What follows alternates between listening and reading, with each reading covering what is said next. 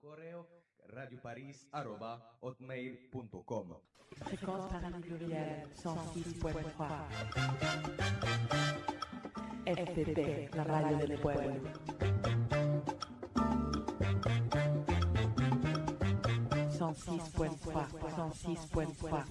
Desde París, para el mundo, Emisión Américas 106.3 FM.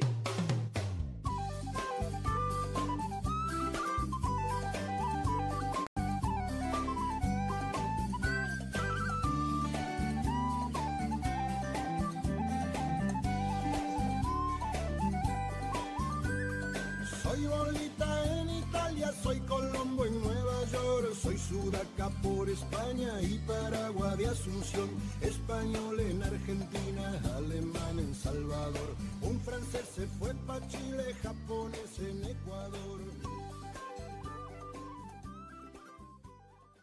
Vámonos despacito con Juanito Guanabacoa y su invitado el día de hoy. Muy buenos días a todos ustedes. Muy buenos días, Osler. Pues aquí con eh, los retrasos domingueros que llegan a suceder en esta gran villa de París, eh, pues comenzamos con la programación muy cargada de invitados. Eh, nuestra estación en el 106.3 del FM es un vínculo de solidaridad y de comunión contra toda la falta de, información que hay sobre nuestros países. Pues bien, eh, en la sección Crónicas de Juanito Guanabacoa vamos a tratar este tema, vamos a seguir algunos temas que hemos venido eh, siguiendo con relación a México. Y estoy aquí con, en primer lugar, un amigo, en segundo lugar, un colega y en tercer lugar, un inmigrante que eh, ejerce la función de periodismo aquí en Francia. Me refiero a Héctor. Héctor, y y como le dije hace un momento, me acuerdo de, de su segundo apellido porque el mío comienza más o menos igual. Eh, Héctor Leiva Oliva, ¿cómo estás? Muy, buenas, muy buenos días, Juanito. Eh, me encuentro muy feliz de estar aquí. Muchas gracias por la invitación. Y pues claro, a, a hablar de cosas trascendentes, ¿no? de cosas que, importantes que, que están sucediendo en estos momentos y que, y que van a suceder el próximo primero de julio ¿no? en, en nuestro país, en ese gran país, este, en ese país tan influyente que es, que es México, que puede cambiar la, la, la Geopolítica, La geopolítica, del ¿no? continente.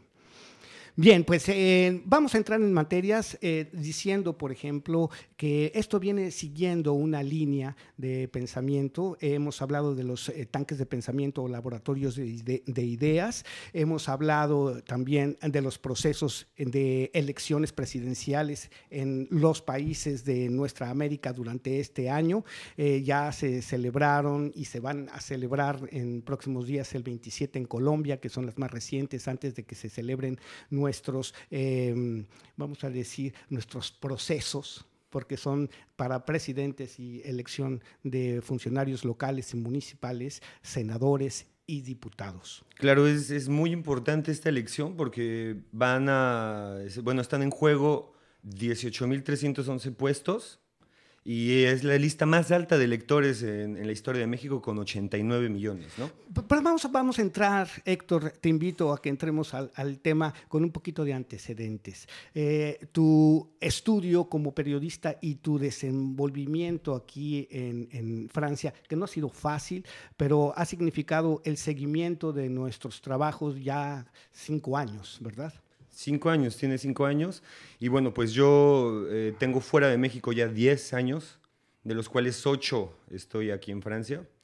Pero no, yo no fui desde un principio, no, siempre tuve esa, esa, ese gusanito eh, de la política, ese gusanito de, de saber lo que, lo que hay que, o sea, de- de- de tener en mente lo, lo trascendente que puede ser la política. Entonces, eh, para eso me fui a estudiar a Barcelona un año, periodismo, una maestría en periodismo, y después vine para acá y eh, encontré un espacio en Radio Francia Internacional, que es donde eh, me desenvolví.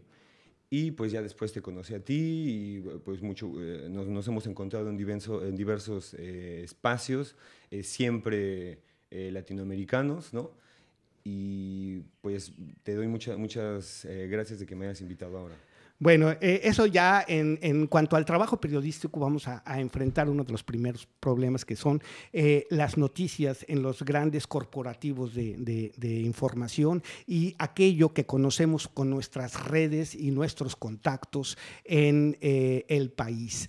¿Cómo percibes tú esto? ¿Qué idea se tiene de nosotros? Y esto ya nos viene acercando un poquito más al tema que vamos a desarrollar. Sí, bueno, pues para empezar, uno de los periódicos más leídos en en español, que es como nos, nos, nos, tienen muy en cuenta, es el país, ¿no? Pero ese país, el, el periódico El País en, en, en, España. en, España. hace parte, justamente como muchas otras grandes publicaciones, como el New York Times, como también los periódicos en México, de un gran corporativo, ¿no? Que, es, que, que también, de alguna manera, eh, controlan la información, controlan lo que leemos, controlan, controlan lo que vemos lo que escuchamos. ¿no? Con concretamente tu trabajo ha sido muy importante porque ha sido la traducción de algunas noticias y, y, y, y también el poner tu grano de, de, arena de información. ¿Cómo has visto esta experiencia? ¿Cómo eh, sientes que, que, la información fluye a, a, ese nivel? Bueno, pues aquí en Francia, eh, en, eh, ahí en, en el radio, hay muy poco, no hay, no hay ninguna persona que diga que quede una línea, ¿no? Pero es también porque, porque lo ven tan, tan lejano, ¿no? América Latina lo ven tan, tan, tan, tan lejano, que igual y, y, no, y por eso no, tiene, no tenemos ninguna, ninguna persona que nos diga. Pero yo creo que esto sería totalmente diferente y estoy de acuerdo que es totalmente diferente en México, ¿no?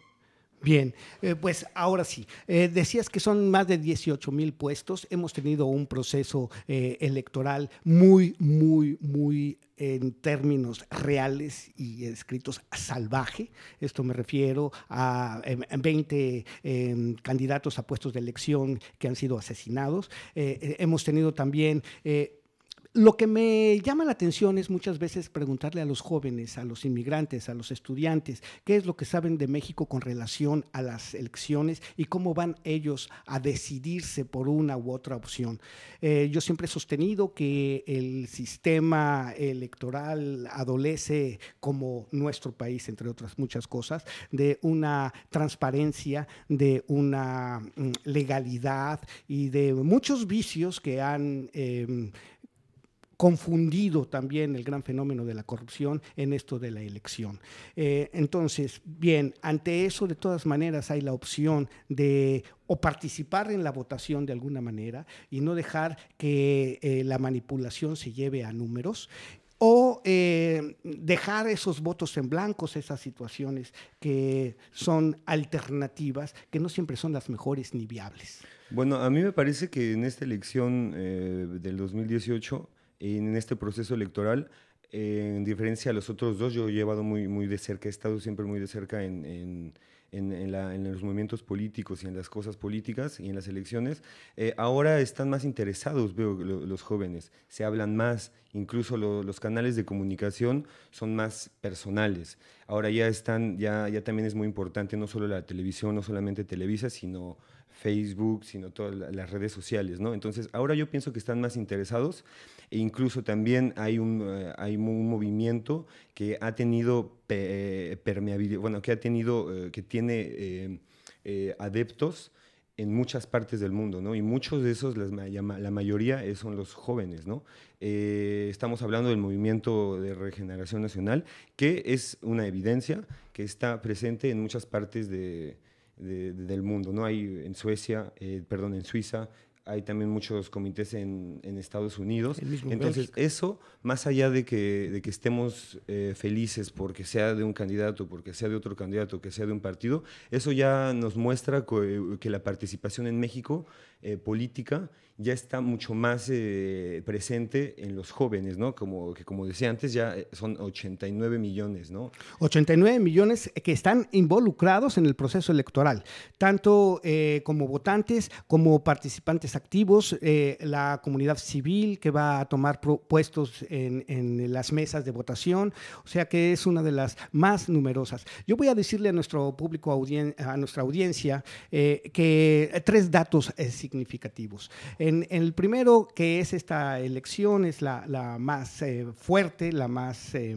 vamos a decir, la que arrastra mayor número de, candidatos también ya viables. Anteriormente eran los candidatos que no llegaban a la votación significativamente, eh, que ahora ha habido un seguimiento y un estilo, eh, pues muy digamos, a la democracia americana en cuanto a debates, en cuanto a esto. El proceso presidencialista clásico que habíamos tenido nosotros, por ejemplo, en la presidencia de mm, López Mateos para entregarle a Díaz Ordaz el poder, pues se hacían con un, con un culto a la personalidad, se hacían con un, un- un ceremonial estaba ya muy definido. Hoy no, hoy tenemos, eh, por ejemplo, un candidato que ha jugado tres veces, esta va a ser la tercera eh, en los procesos electorales, me refiero a López Obrador, y también un candidato que sin participación política surge en el partido del poder. ¿Cómo has visto tú esa situación?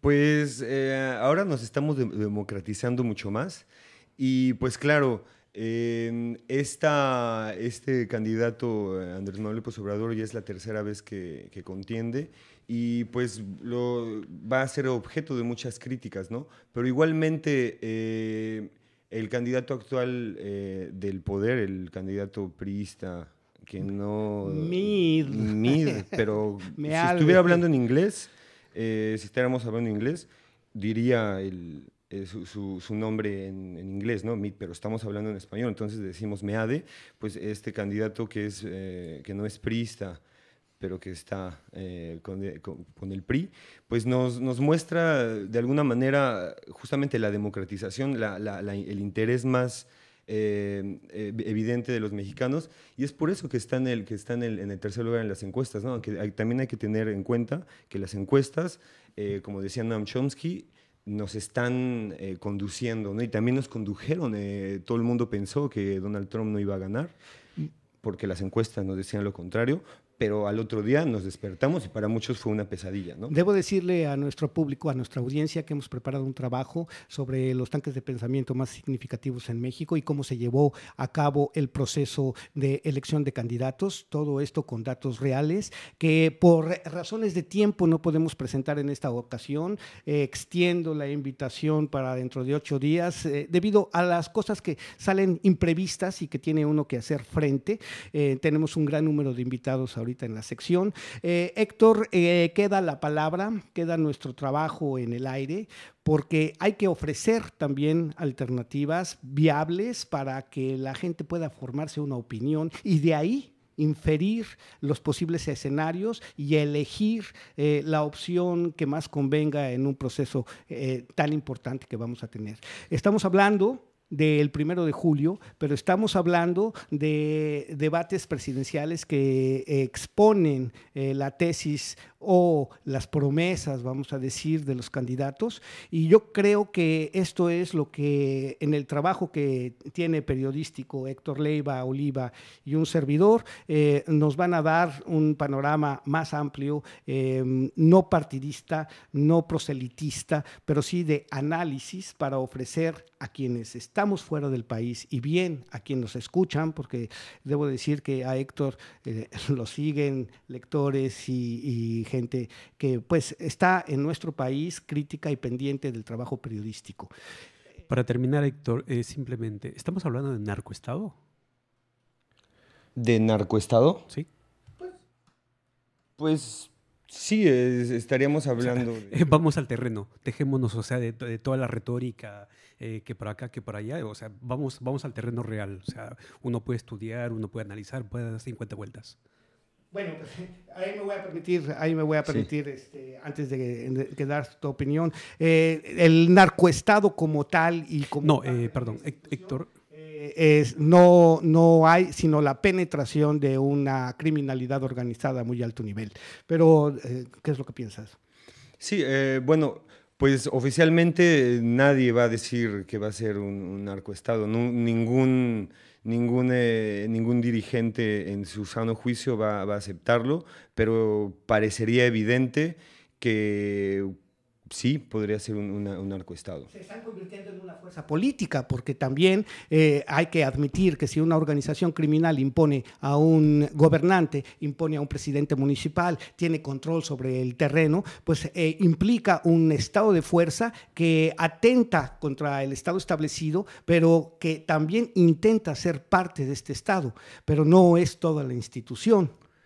No es toda la institución, pero claro, hay ya terrenos eh, y justamente hemos, eh, hay, ya eh, investigaciones por parte de, de diversos medios de comunicación como proceso, ¿no? En donde ya es, es evidente que hay, hay zonas de México, de nuestro querido México, que están siendo controladas por, no por el cuarto poder, que es el, eh, los medios de comunicación, y ya por el quinto, ¿no? que sería el, narcotráfico, y, más que el, narcotráfico, sería yo creo que la violencia, ¿no? por el miedo. ¿no? Yo, yo creo que también es algo muy importante que esta, esta violencia inducida, esta este mecánica de política de Estado, es realmente eh, tendiente al control y a la división de la población. Lo que sí puedo decir, y esto es una opinión ya muy, muy, muy concreta, es que México tiene ahorita una crisis democrática donde la ingobernabilidad ha crecido, donde los intereses no permiten el surgimiento de eh, otros actores políticos, de otras posibilidades de país, que donde eh, la violencia se ha ejercicio- ejercido tanto dentro como fuera del Estado, y esto pues complica el, panorama, y esto eh, no es nada más que lo analicemos como algo que ha pasado, sino como encontrar las causas y razones de lo que está sucediendo en México. Claro, y bueno, para, para, Para ter- para terminar, eh, pues me gustaría decir que en este análisis que, que- que vamos a hacer en, en un futuro, no queremos convencer a nadie. La próxima vez. eh, la- la próxima vez, la próximo fin de semana, sino más bien sería como abrir los ojos y los invitaríamos a que no nos crean lo que estamos diciendo, sino que ustedes también eh, eh, sean, agarren al, al toro por los cuernos y que se pongan a, a informarse. ¿no? Tenemos el, el- el testimonio de una periodista, eh, de periodistas de a pie que acaban de ganar un premio precisamente por su trabajo de cadenas de mando, que es precisamente hasta dónde llega el poder de la criminalidad organizada en nuestro gobierno. Este premio nacional se acaba de recibir la semana pasada y es por una investigación que duró 10 años preguntándole a los soldados, preguntándole eh, por qué matas. Así es que vamos a, a tener esa información. Eh, Juanito Guanabacoa, esta sección, Crónicas de Juanito Guanabacoa, se despide, eh, lamentando realmente, bueno, felicitando también que tenemos muchos, muchos invitados ahorita que siguen en la programación y a través de Radio Frecuencia París Pluriel en el 106.3 del FM eh, y Radio Frecuencia París Pluriel 3wrfpp.net, eh, nos quedamos con el pie de la invitación a Héctor en- dentro de ocho días y nos despedimos y seguimos con la programación planeada por el director Osler Amaro.